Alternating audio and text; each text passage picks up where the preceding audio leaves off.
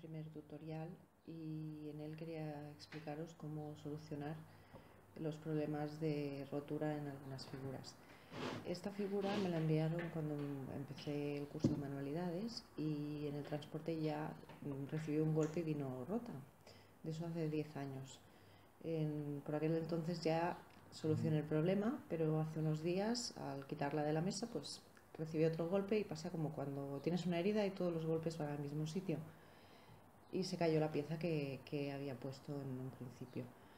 Eh, el, arreglo, el arreglo es muy fácil, únicamente necesitáis eh, pasta reparatoria, en este caso es Patex. Y afortunadamente ahora han sacado una versión nueva que no necesitas eh, guantes para manipularla, ya no hace tan, tan mal olor como hacía antes. Y bueno, es muy fácil de utilizar, es como una plastilina. Entonces lo único que necesitáis es cortar un trozo, no muy grande, ¿vale?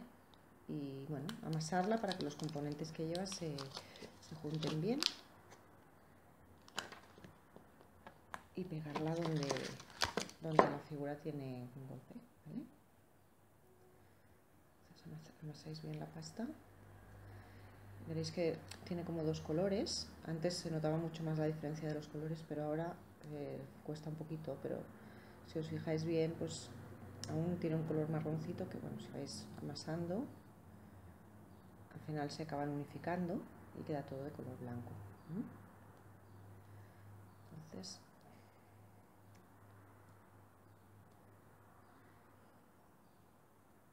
cuando ya la tenéis bien amasada, entonces tenéis que ir colocándola en la parte de la figura que está rota.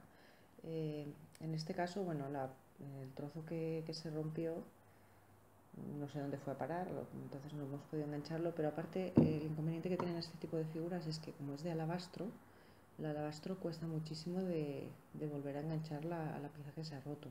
Ni con loctite, ni con nada, tienes que insistir mucho porque les cuesta les cuesta enganchar. Entonces es ir, poniendo aquí la pasta y darle forma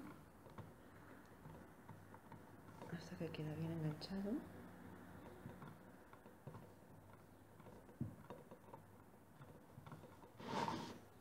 Vamos por la parte de atrás también. Unirlo bien.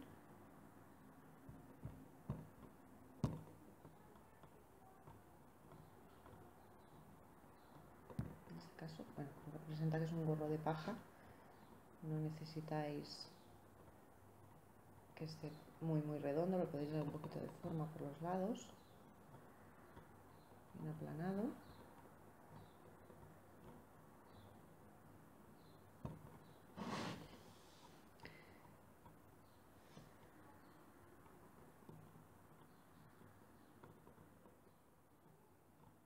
un poquito la forma que queráis.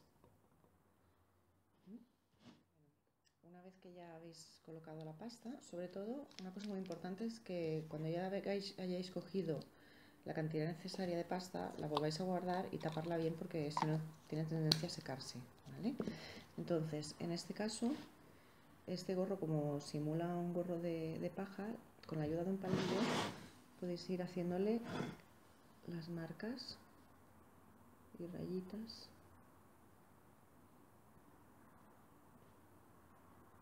para que luego una vez que lo pintéis se vea el, dibujo.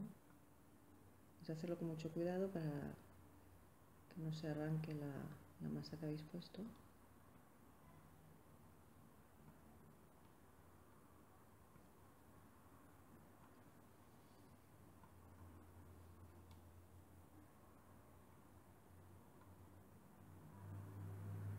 En este caso luego este gorro va pintado con una pintura que simula el verdín. Eh, cuando tenga que pintarlo que ya esté seco, os enseñaré cómo se hace.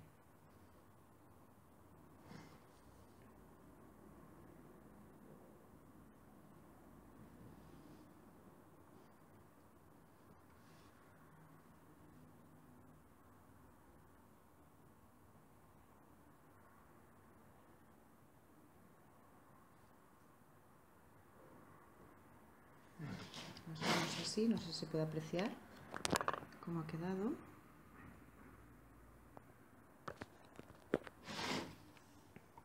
Sobre todo, intentar que las juntas queden lo más disimuladas posibles.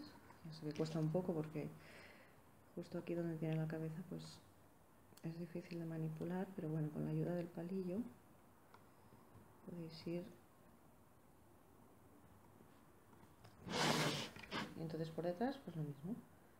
Vais haciendo marcas como si fuera la paja.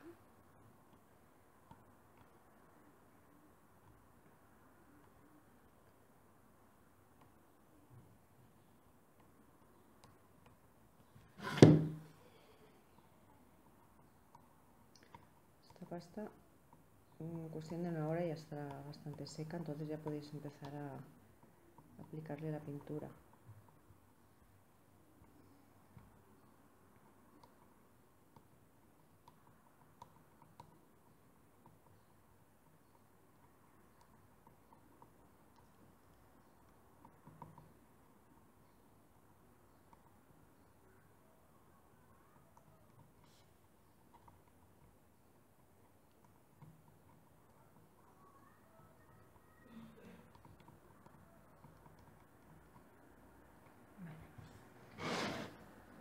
Pues ya está.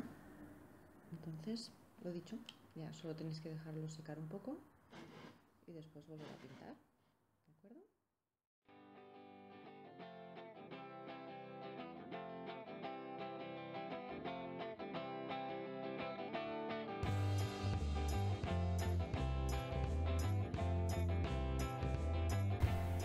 Y hasta aquí el tutorial de hoy. Recordad que si os ha gustado podéis suscribiros en mi canal de los del.